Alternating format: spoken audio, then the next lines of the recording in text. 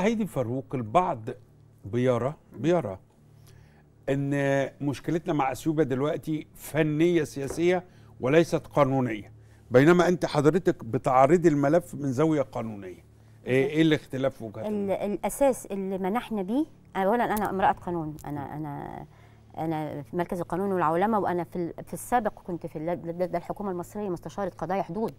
وهو تخصصي مم. فاللي أنا عايزة أقوله إن لا إحنا تجاهلنا حق أزلي لينا في وقت غير نتمسك بيه في, في سنة 2000 فإزاي آه، آه، تمشي المفاوضات على مسار فني وكأن هذا السد مسلم بوجوده. كان يجب أن نرفض. لماذا لم نرفض؟ لماذا لم نرفض؟ لاختفاء هذه الوثائق من من أمام أولي الأمر. ال- المشكلة مش في من بيده الأمر. المشكلة في من يقوم بالعرض. عليه. غابت هذه الوثائق عن الذهن أو الأذهان المصرية أثناء الحديث عنها. علاوه على ترد ترديد كلمة إن دي اتفاقيات استعمارية. 1902 تلاها اتفاقيات تانية توضح إن ده حق لمصر. كان يجب أن يستخدم. الحصة أو الاتفاقية الحصة الخاصة بالحصة التاريخية 29 59 آه. ماذا يعني أن أثيوبيا ترفض الاعتراف بها؟ لانها ما وقعتش على 29 59 هنربطها منين؟ هنربطها ب 1902 و1906 مم. الاتفاق الثلاثي ثم 1934 و 1953 اللي اعترفت بجزء منها وجزء لا 1902 هي أهم حاجة مم. ومن غير كده أنت مش هتعرف تربط ال- الجانب الإثيوبي بأي اتفاق دولي والحمد لله إن كان عنده مشكلة آه، بدم يوزالمباسي بينه وبين أريتريا وتمسك بيها سنة 2000 بقى تمسك باتفاقيه 1902 بالظبط. تمسك بها سنة 2000 بعد 100 سنة بالظبط. من آه، توقيعها. وبعد عدم وجود برلمان ردا على أحد ال- ال- الأسئلة اللي وجهت لحضرتك. طيب 1902 اتفاقية 1902 المفاوض المصري هيستخدمها مع أثيوبيا ولا مع الأمم المتحدة ولا مع مركز تحكيم دولي ومفروض ما ينفعش نروح لمركز تحكيم دولي إلا بموافقة الأطراف الثلاثة. آه لا محكمة العدل الدولية ل- لازم تبقى موافقة إثيوبيا. وإن كان من حقنا نستصدر فتوى من المحكمة الدولية خاصة بها- بحقوق مصر على مجرى نهر النيل. في حالة تحقيق الضرر. آه، في حالة تحقق الضرر أو وجود آه، أمر محتمل بتحققه في المستقبل. وفقا لتقرير مثلا البنك الدولي. وفقا للتقرير اللي هي ال international panel of experts اللي اتعمل في 2013 مم. okay؟ في كذا حاجة تقدر ت- نقدر نتوجه بيها للح- للحصول على فتوى من المحكمة الدولية.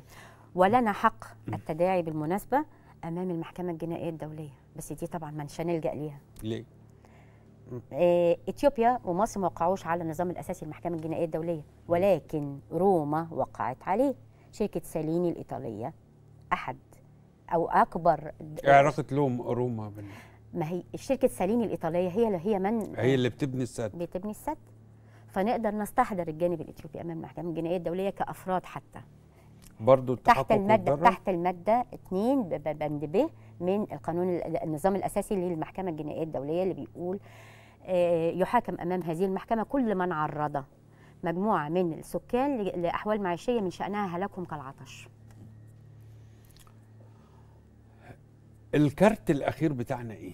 هل هو الموقف القانوني ولا ينبغي آه ان تكون عندنا هناك موقف عندنا عندنا عندنا. كارتين مم. كارت هندسي كارت هندسي فني. آه آه عمله وقع عليه آه في سنة 52 الملك فاروق مم. وبيعتمد على اختلاف المناسيب الأرض بعد ما طبعا توالت كتير على مدار سنين ال- ال- التلويح الإثيوبي بإقامة سد. فظهر من هنا مشروع مشروعين بالتوازي. قالوا نعمل سد عرف فيما بعد السد العالي وبالتوازي يتعمل معاه قناة ملء. هذه القناة طولها 12 كيلو اتعملت في موقع معين آه، اتحددت حدودها في موقع معين ما بين صحراء بني سويف وصحراء الفيوم. وبتصب في خزانات الريان ولها متصرف. هذا المشروع موجود وموقعه الملك فاروق في 7 5 52 موجود فين وبت... وعايزة تقول لقيته في مكتبة عثمان باشا محرم اللي قالتها في الخارج دخلتها مصر بعد الثورة. المع... ال- لما عبد الناصر طلب من عثمان باشا محرم مشروع قومي يلتف حواليه الشعب المصري اداله السد العالي. ما ادالهوش خزان ما ادالهوش مشروع قناة الملء وأوراقه كانت فقدت في حريق القاهرة. ماذا لو فشلت المفاوضات القانونية والسياسية؟ الحل الهندسي موجود. وهم وهم يعلمون على فكرة خطورته عليهم. مم. ليه؟ لأن إحنا هذه قناة الماء دي بتقام على الفلق الأرضي امتداد الفلق الأرضي. بنلعب على اختلاف المناسيب. وجوه أرضنا. وإذا بنتكلم تنمية بتنمية برضه هنعمل تنمية جوه أرضنا. وهتبقى النتيجة مش حلوة. قناة الملء هتعمل إيه؟